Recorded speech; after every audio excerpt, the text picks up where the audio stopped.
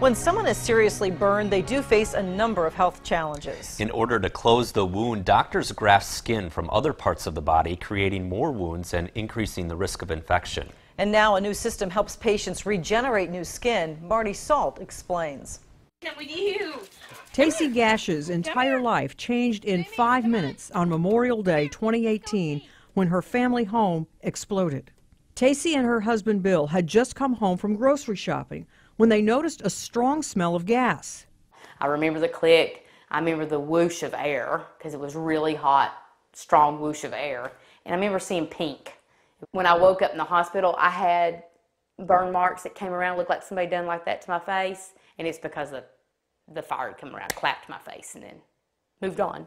The flames burned Tacey on 20% of her body. Her hands and legs were the worst. The heat had melted her skin to the carpet. During her two weeks in the hospital, doctors recruited Tacey for a clinical trial of ReCell.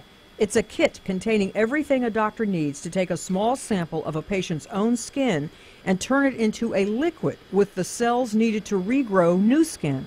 Then it gets sucked up into a syringe, and then the syringe is outfitted with an atomizer so that you can spray it on. Tacey says the areas treated with the spray skin healed flatter, and the color is better than her burns treated with skin grafted from other areas of her body.